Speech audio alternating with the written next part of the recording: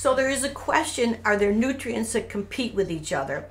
And certainly there are certain uh, absorption sites for nutrients like calcium and magnesium have the same absorption site.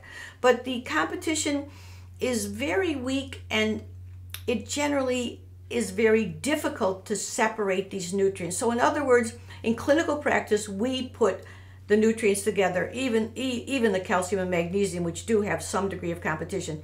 Because if you have take adequate intake of both, of there's not going to be any problem, as compared to the difficulty of trying to separate every nutrient. And if you think about it, in nature, the food we eat has a whole variety of nutrients, and the body does perfectly well absorbing those all at the same time in the same foods.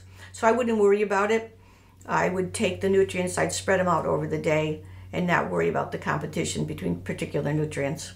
And if you want questions, your questions answered, we're doing these Love Your Bones, Love Your Life retreats. We found it's a fantastic way to spread information about how to develop strong bones.